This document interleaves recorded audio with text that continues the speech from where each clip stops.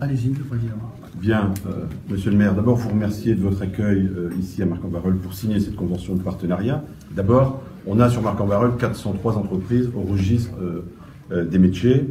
On a une dynamique d'une vingtaine d'entreprises entre les radiations et les créations en 2015 et on a cette dynamique aussi sur l'apprentissage parce qu'on a un bon 60 jeunes, 64 jeunes qui ont un contrat en cours sur votre territoire.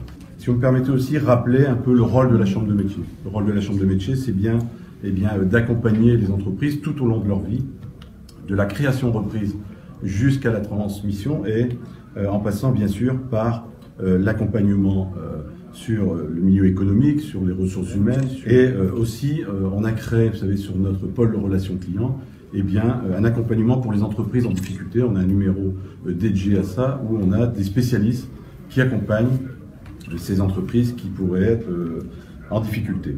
Donc voilà, je pense qu'on fait euh, sur cette convention de partenariat euh, d'abord une bonne initiative, un bon travail, et je pense que c'est que le démarrage. Voilà, maire. Très bien. Bon, Monsieur le Président, Mesdames, Messieurs, vous dire d'abord tout le plaisir, moi, que j'ai à être avec vous pour signer cette convention de partenariat entre la Chambre des métiers euh, et d'artisanat et la ville de Marc-en-Barœul. Vous savez, euh, on a euh, à Marc-en-Barœul une association qui s'appelle l'outil en main. Et je remarque que c'est assez extraordinaire de voir à quel point les jeunes, ils sont fiers et intéressés de venir voir ce qu'est un métier.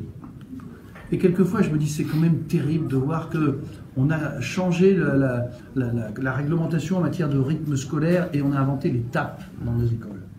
Et alors, dans les tapes, on apprend les jeunes à des choses très compliquées parfois. Et je me dis, mais quand est-ce qu'on va avoir la simplicité de se dire, dans l'étape, euh, il faut peut-être tout simplement euh, prévoir euh, à les orienter vers des métiers et leur faire découvrir des métiers. Bon, on a un, partenariat qu'on a signé avec les PARECA pour Marc en Barol, pour la briqueterie.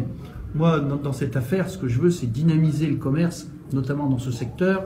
Et on a une idée aujourd'hui, je ne peux pas vous en dire plus, mais qui avance bien et, qui est complémentaire de, ce qui existe au niveau du commerce qui existe aujourd'hui, euh, euh, pour, former aussi des jeunes derrière. Je crois qu'on va aboutir à quelque chose de sensationnel si on le réussit. Donc euh, je veux travailler là-dessus avec vous. Je suis très content de, ce partenariat qu'on peut, qu'on peut donc officialiser davantage encore ensemble.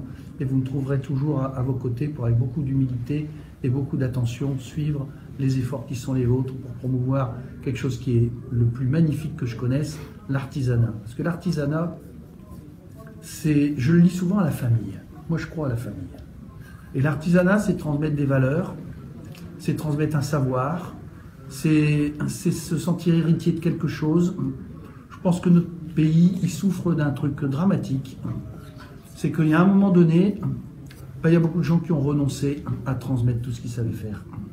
Euh, on est tous héritiers de quelque chose. Et puis euh, aujourd'hui, malheureusement, euh, on se sent souvent orphelin plutôt qu'héritier. parce qu'on a arrêté de transmettre. Et eh ben vous, votre boulot, c'est votre métier, la noblesse de votre travail, c'est de transmettre. Vous l'avez fait chez vous, monsieur, monsieur Rigaud, avec quel talent. Donc voilà. Donc l'artisanat, c'est transmettre. C'est transmettre quelque chose. C'est magnifique, ça, de, pouvoir faire ça. Donc on sera toujours à vos côtés avec beaucoup de plaisir. Merci à vous, tout simplement.